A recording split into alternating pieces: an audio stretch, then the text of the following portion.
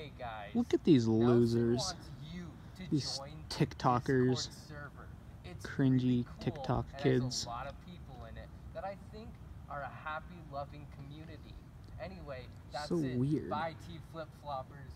Remember to like and subscribe. Yeah. TikTok is ruining our generation.